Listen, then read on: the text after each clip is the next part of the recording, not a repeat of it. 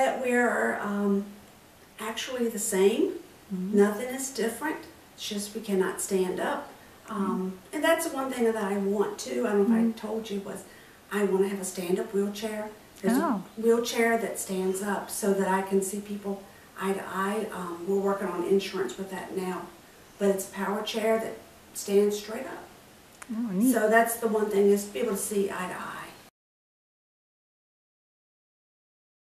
Well, the reason was um, I was doing a psychology project and and uh, I always look up uh, different contests for both my parents because I think they're most deserving. And she's just uh, she's just an inspiration. She does a lot for us, and she has a great mindset and good head on her shoulders.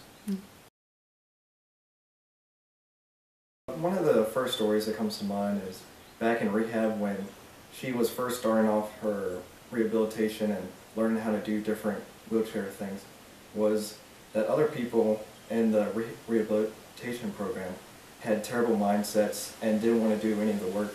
So they turned out to be overweight and be depressed and so on, as to where she's sitting here healthy and she has a great mindset and she just has the ability and great mindset to do what she ever wants to do.